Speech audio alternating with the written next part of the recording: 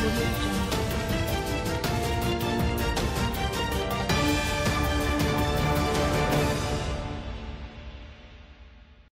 Hello，大家好，我是 Selina，欢迎来到 Magical Future 华语财经频道。今天是二零二零年十二月十四日，星期一。美国财政刺激法案，美联储十二月利率决议成本周重中之重。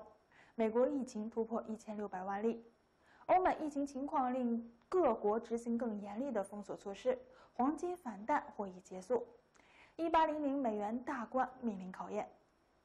在上周六十二月十二日。根据美国约翰逊霍普斯金大学统计数据显示，美国累计新冠肺炎确诊病例突破一千六百万例，四天时间新增百万确诊病例。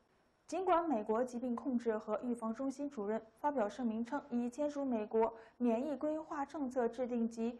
预防接种咨询委员会的建议，这或意味疫苗有望在短期内向公众开放。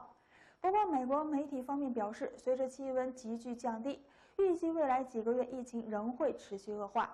而疫情恶化带来的最直接后果为各国将采取更严厉封锁措施。上周日，十二月十三日，德国总理默克尔宣布，德国将从十二月十六日就开始大规模收紧对公共生活的限制，实行硬性封锁令至明年一月十日。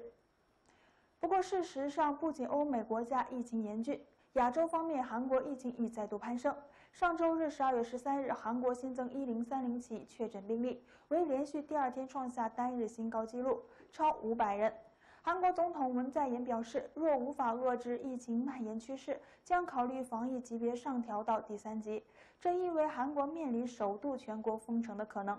从本周来看，市场焦点无疑落在美国财政刺激法案能否达成，以及周四十二月十七日举行的美联储十二月利率决议之上。实际上，有关财政刺激法案可能对市场影响力更为之大，因目前市场已开始预测，一旦美联储对刺激法案短期达成失望，将于本周宣布提供额外的货币政策刺激，其中可能包括加快资产购买步伐及前瞻指引等举措。充满悬念的是，截至目前，美国财政刺激法案仍未取得突破性进展。但仍留意的是，上周五十二月十一日，美国参议院通过了一个临时拨款法案，这令美国政府得以运营至十八日，避免停摆，同时为美国政府于短期内达成法案提供了可能。在另一方面，近段时间公布的美国劳动力数据表现不佳，十一月新增非农就业人口录得二十四点五万，远逊于预期的四十四万及前值的六十三点八万。美国国内经济面临巨大压力，或促使两党达成小规模的九千零八十亿美元刺激方案。此外，英国脱欧本周亦迈入关键阶段。目前，英国首相约翰逊和欧盟委员会主席冯德莱恩同意继续进行美国脱欧贸易谈判，但考虑到十二月三十一日的最终脱欧期限临近，英欧双方已着手准备无协议脱欧的情况。一旦美国最终无协议脱欧，届时料将打压市场风险情绪，并为美元指数提供上行动力。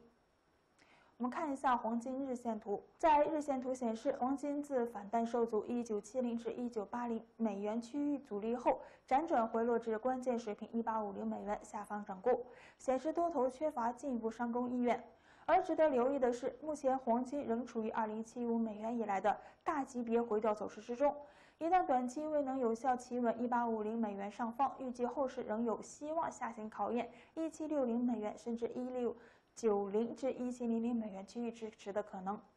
不过，一旦金价能突破一九三五美元，则需警惕黄金重返长期升势的可能。但就目前情况而言，要判断黄金触底仍为时尚早。以上就是今天的全部内容，谢谢大家的收看，我们明天再见。